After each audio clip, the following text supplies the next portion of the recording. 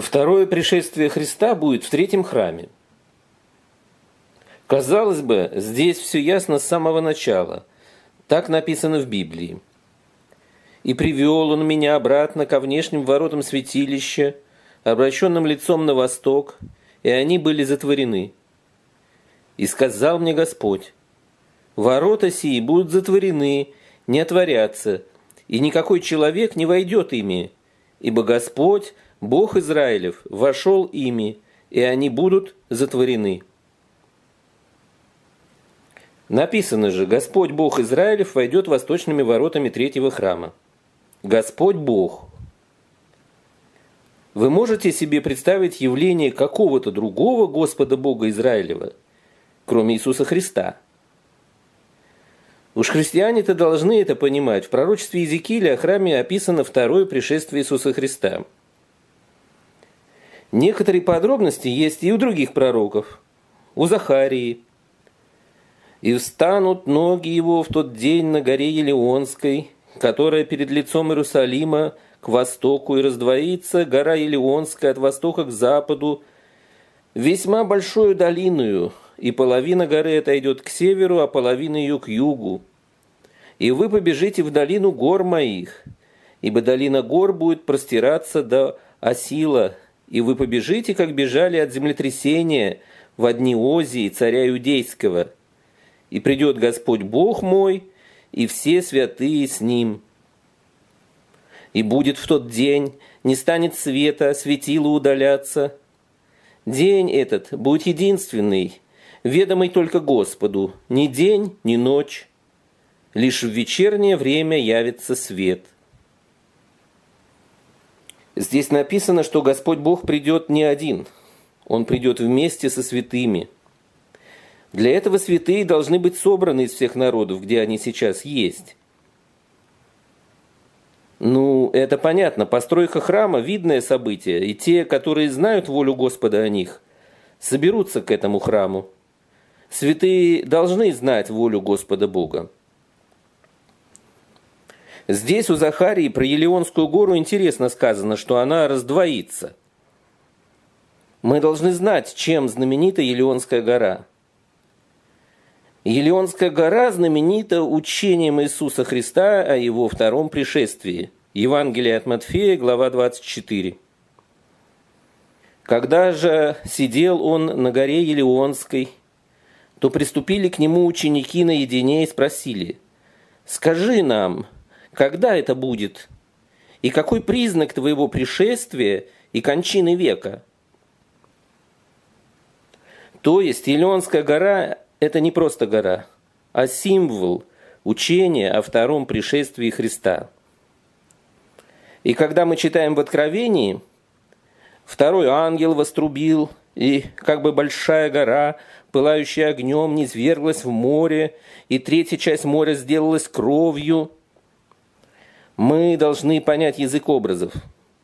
Учение Иисуса Христа о втором пришествии падает на неверующий мир. Море в Библии является символом неверующего мира. То, что падает именно Елеонская гора, можно догадаться из Евангелия. И Иисус же сказал им в ответ, «Истинно говорю вам, если будете иметь веру и не усомнитесь, не только сделайте то, что сделано со смоковницей, но если и горе сей скажете, поднимись и ввергнись в море, будет. Слова о горе, которая вернется в море по нашей вере, были сказаны Иисусом Христом, когда Он был рядом с Елеонской горой. Итак, согласно Захарии, ноги Господа встанут на раздвоившуюся Елеонскую гору – вы должны понимать, что означают разные части тела в теле Христа. Ноги – это благовестники Евангелия. Как прекрасны на горах ноги благовестника, возвещающего мир, благовествующего радость, проповедующего спасение, говорящего Сиону «Воцарился Бог твой». И как проповедовать, если не будут посланы? Как написано – как прекрасны ноги благовествующих мир, благовествующих благое. Благовестники Евангелия должны собраться на Илионской горе. Но гора эта почему-то раздвоится. О каком раздвоении речь? Если вы внимательно изучите пророчество Иезекииля о храме, то вы найдете ту гору, на которой стоял в своем видении пророк Иезекииль, на южном склоне которой будет построен третий храм. Эта гора находится в Иудейской пустыне. И что интересно, храм расположен на южном склоне горы, а с восточной стороны, за оврагом, находится другая гора. То есть третий храм расположен между двух гор – вот вам и раздвоившаяся Илионская гора, она уже есть. Теперь наша вера должна переставить историческую Илионскую гору в Иерусалиме на новое место, в Иудейскую пустыню. Иисус же сказал им, по неверию вашему, ибо истинно говорю вам, если вы будете иметь веру с горчичное зерно и скажете горе сей, перейди отсюда туда, и она перейдет. И ничего не будет невозможного для вас. Вы видите, что все слова Иисуса сбываются. Илионская гора уже найдена в Иудейской пустыне. И в сознании верующих началось перемещение прежней горы на новое место. Осталось собраться там и построить третий храм – к сожалению, у многих христиан сложилось представление о втором пришествии Иисуса Христа как каком-то внешнем для них событии. Примерно как у иудеев 2000 лет назад. Вот приедет барин и нас рассудит. Сядет великолепный царь на троне в Иерусалиме, и тут-то заживем. Так и христиане сейчас. Они ждут чего-то внешнего – а Христос должен быть и действовать в нас самих, у каждого, изнутри. Бог должен быть в сердце, царем нашего внутреннего мира, вселенной, которая в каждом человеке. Если для вас Христос внешне, то вас жаль. Не вы будете судить мир, а Христос придет судить вас, придет вместе со своими настоящими святыми.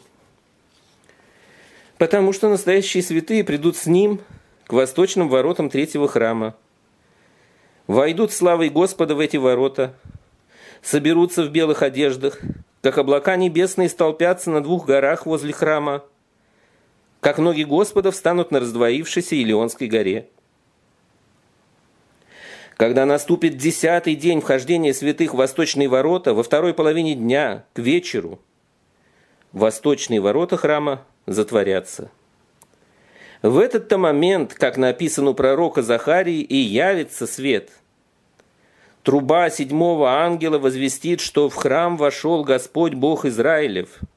Второе пришествие Христа будет объявлено свершившимся. Кто не успел войти в восточные ворота на брачный пир, останется опоздавшим навсегда. После явления Господа Иисуса Христа воскресение первое можно считать свершившимся. Оставшиеся христианские конфессии деноминации можно считать несостоявшимися. И чего еще могут ожидать те, которые в пришествии Христа никак не участвовали? Родится новый народ, Израиль. Евреи примут явившихся в восточные ворота храма, как должны были принять Иисуса Христа две тысячи лет назад. Мы будем одним народом, одним жезлом в руке Иезекииля. Ты же, сын человеческий, возьми себе один жезл, напиши на нем. Иуде и сынам Израилевым, союзным с ним. И еще возьми жезл и напиши на нем. Иосифу. Это жезл Ефрема и всего дома Израилева, союзного с ним. И сложи их у себя один с другим в один жезл, чтобы они в руке твоей были одно – и когда спросят у тебя сыны народа твоего, не объяснишь ли нам, что это у тебя? Тогда скажи им, так говорит Господь Бог. Вот, я возьму жезл Иосифов, который в руке Ефрема и союзных с ним колен Израилевых, и приложу их к нему, к жезлу Иуды, и сделаю их одним жезлом, и будут одно в руке моей. Когда же оба жезла, на которых ты напишешь, будут в руке твоей перед глазами их, то скажи им, так говорит Господь Бог, вот я возьму сынов Израилевых из среды народов, между которыми они находятся, и соберу их отовсюду и приведу их в землю их. На этой земле, на горах Израиля я сделаю их одним народом, и один царь будет царем у всех их, и не будут более двумя народами, и уже не будут вперед разделяться на два царства. Иудеи и верный Христу остаток христиан, Ефрем, соединятся в одно царство, одно государство Израиль.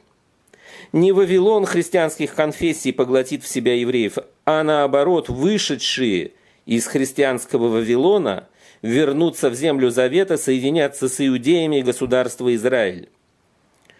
При этом вместе с ними, избранными от четырех ветров, в Израиль явится Дух Господень, и весь Израиль станет царством Бога на земле.